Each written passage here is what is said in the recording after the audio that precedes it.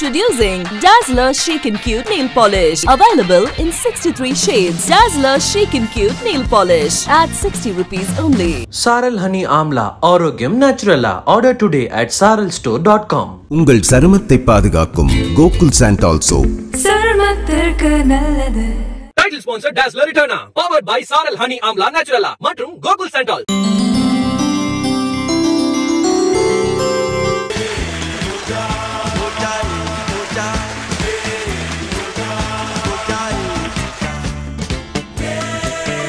இனிமை மிகு Sun TV நேர் பெருமக்களே நிகழ்ச்சியை மேலும் மெருகூட்டி கொண்டிருக்கின்ற திரு நடுவர்களாகிய சிட்டி பாஸ் அவர்களுக்கும் மதன் பாஸ் அவர்களுக்கும் நன்றி சொல்லி இன்றைய தினம் நம்மளுடைய நிகழ்ச்சியை சிறப்பிப்பதற்காக வந்துள்ள சிறப்பு விருந்தினர் ஐயா அவர்களையும் வணங்கி நிகழ்ச்சிகளை போகிறோம் முத்து.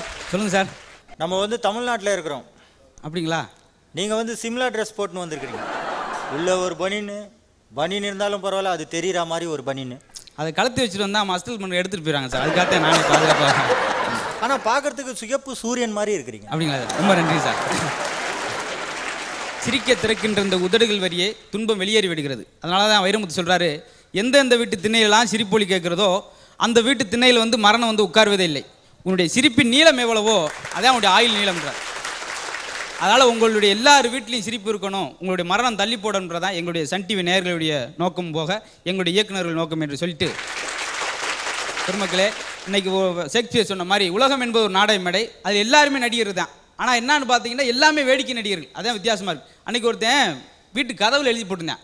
என்னுடைய எடை ஐம்பத்தெட்டு கிலோ அப்படின்னு கூப்பிட்டு என்னடா பிக்காளித்தனமாக எழுதி போட்டிருக்க? என்னுடைய எடை ஐம்பத்தெட்டு கிலோ கதவுல எழுதி போட்டிருக்க எதுக்கு? அப்படின்னு என் யாரும் தப்பாக இடம் விடக்கூடாது அதுக்காகத்தான் நான் இப்படி இடம் போட்டிருக்கேன் டாக்டர் சொன்னார் உன்னுடைய எடையை குறைக்கணும்னா தினம் நீ அஞ்சு கிலோமீட்டர் வாக்கிங் போகணும். நடந்தே வா டாக்டர் அப்படின்னு இருக்கான்.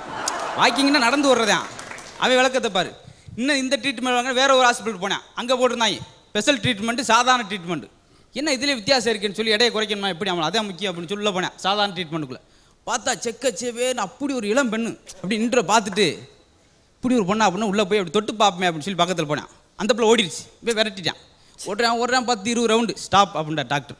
இப்படி தினமும் நீங்கள் ஒரு வாரம் ஓடினால் உங்கள் எடை குறைக்கப்படும் அப்படின்றாங்க இப்போ யோசிச்சேன் சாதாரண ட்ரீட்மெண்ட்டுக்கு இப்படி ஒரு சந்தியா மாதிரி ஒரு பொண்ணுன்னா ஸ்பெஷல் ட்ரீட்மெண்ட்டில் எப்படி இருக்கும்? அதையும் செக் பண்ணி பார்த்துட்டு அதையும் அதையும் நம்ம கட்டிடுறேன் சார். எனக்கு ஸ்பெஷல் ட்ரீட்மெண்ட் பண்ணுங்க. அப்போ அந்த ரூமுக்குள்ளே போ. போனேன் தேடி தேடி பார்த்து எங்கே காணாமே அப்படின்னு. பார்த்தா நாளை கழிச்சு செத்து போயிரும்போது அப்படி ஒரு கிளவு கிளவி இடிக்கிட்டு இருந்துச்சு. இவன் ஓடுறேன் கிளவி இவனை விரட்டிடுச்சு. டாக்டர் சொன்னா ஸ்டாப் இப்படி நீங்கள் ரெண்டு நாள் ஒரு நாள் உங்கள் எடை குறைக்கப்படும். ஏன்னா அவ்வளோ வேகமாக ஓடினான். ஏமா தான் என்ன டாக்டர் உள்ள ஆவு ஐயோ அம்மா காப்பாத்துங்க அப்படின்னு சத்தம் வருது. என்ன அப்படின்னு உள்ள பல் போடுங்கிறாங்களா? இல்லடா பீஸ் போடுங்கிறாங்க. ஹாஸ்பிட்டல் இருக்கிறதான் சொல்கிறேன் ஏன்னா பார்த்தீங்கன்னா செக் பண்ணும்போதே தெரியும். ஒன்றுமே இருக்காது. உட்கார வச்சார் பேஷண்ட்டை ஆ கையை தூக்குங்க. ஆ ஒரு இருபதாயிரம் எடுத்து வைங்க. ஆ காலை தூக்குங்க. ஆ ஒரு முப்பதாயிரம் எடுத்து வைங்க. நெஞ்சில் எப்படி வச்சார் டெஸ்ட் வச்சுட்டு. ஆ ஒரு அறுபதாயிரம் எடுத்து வைங்க. உடம்புல ஒன்றும் இல்லை அவன் சொன்ன ஏன்ட்டி ஒன்றும் இல்லை இப்போ? ஆ? நான் ஒரு எண்பதாயிரம் ரூபா கொண்டு வந்துடா முடிஞ்சிடா அப்படின்னு. இதை நடக்கிறது தான். அது சொன்னார் உனக்கு சனிக்கிழமை ஆப்ரேஷன் வச்சிருக்கணையா ஏன் டாக்டர் சனி போனம் தனியாக போகக்கூடாது. அதுக்கு தான் அப்பயே மிரட்டிடுவாங்க. கல்யாணம் பண்ணுறதுக்கெல்லாம் இளைஞர்கள் வந்திருக்காங்க நேர்களா அவங்கள பார்த்தீங்கன்னா அப்பா பூராமே இளம் இளம் முகம். காரணம் அந்த லவ் பண்ணுற வயசு. அதில் ஒவ்வொருத்தையும் லவ் பண்ணுற பார்த்தா குடும்பமே இருக்குது அன்றைக்கி ஒரு பிளேட்டு போய் ஐ லவ் யூ அப்படின்னா. ஐயோ குருவட்டவளி எனக்கு கல்யாணம் ஆயிடுச்சுடா. பரவாயில்ல எனக்கு என்ன ஆயிடுச்சு? ஆ? என்ன இருக்கு? இதெல்லாம் ரூல்ஸ் அண்ட் ரெகுலேஷன் பார்த்து ஆகுமா? இருக்கட்டும் பரவாயில்ல இது ஒன்றா இருந்தால் பொண்ணு பார்க்க போவாங்க. அது ரொம்ப கொடூரமான விஷயம்.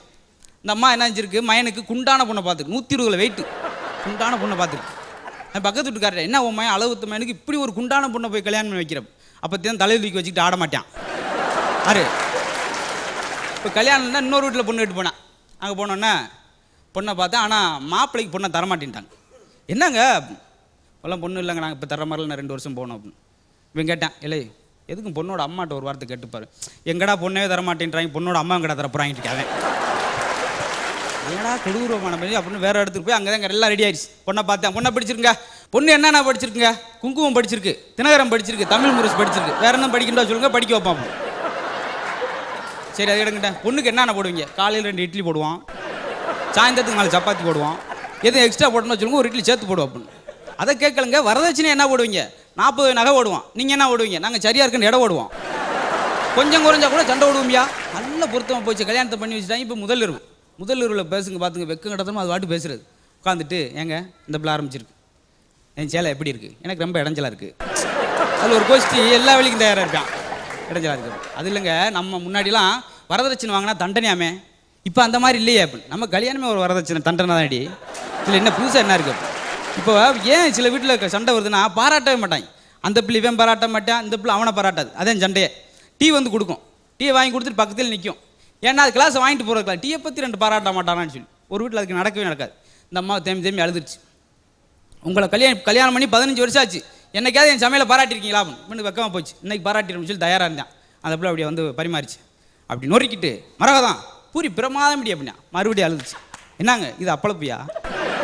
நீ அதுக்கு பாராட்டாமலே இருந்திருக்கலாமே. உன்னை நான் இப்போ கேட்டேன் ஏதாச்சும்? பாராட்டம் சும்மா வச்சுக்கிற அப்படின்னு ஏன்னா சிலர் முடிவு பண்ணிட்டேன் பாராட்டவே மாட்டேன். அப்படியே நம்ம கணவர்கிட்ட பாராட்டு வாங்கி ஆகணும்னு சொல்லி அவருக்கு பெரு விருப்பமாக இருக்கட்டும்னு சொல்லி ஒரு முட்டை உடச்சி ஒரு ஆம்லெட் போட்டு வச்சு. ஆஃபீஸ் விட்டு வந்தார். என்ன இன்னைக்கு செவ்வாய்க்கிழமை அதுவும் ஆம்லெட்டை போட்டு வச்சிருக்கேன் நான் திம்பனா அதை போய்? அப்படின்னு தூக்கி எறிஞ்சிட்டு போயிட்டார்.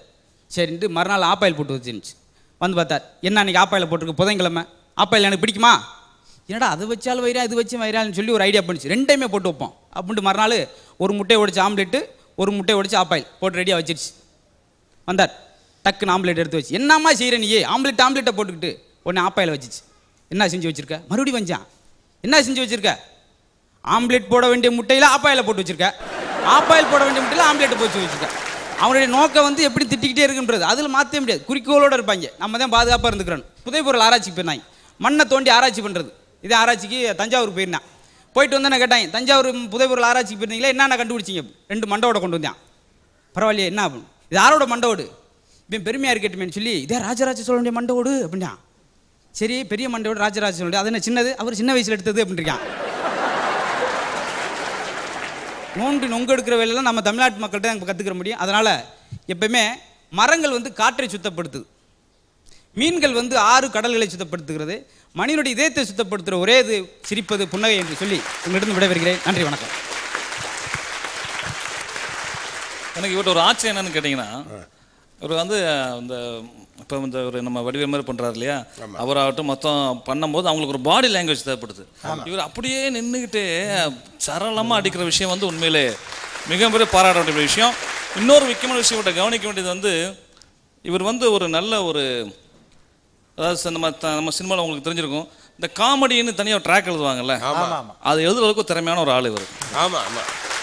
நன்றி சார். அதை நான் பல தடவை வாட்ச் பண்ணிருக்கேன். ஏன்னா அவர் கிரியேட் பண்ணுறது வேற தொகுக்கிறது வேற கேட்டு கொண்டு வந்து அதை கோர்த்து சொல்கிறது வேற அதை சொல்கிறப்ப ரசிக்கிற மாதிரி மாடுலேஷன் வேற. இப்படி தான் செய்வானுங்க அப்படி தான் செய்வானுங்கன்னு சொல்கிற அந்த மாடுலேஷன்ஸ்லாம் வந்து உண்மையிலே ரியலி ஹார்ட்ஸ் ஆஃப் யூ ரொம்ப thank you thank you thank you title sponsor Dazzler ரிட்டர்னா powered by Saral honey amla நேச்சுரலா மற்றும் கோகுல் சாண்டால் தூய சந்தன தின்னலன் radio partner radio city digital partner trend loud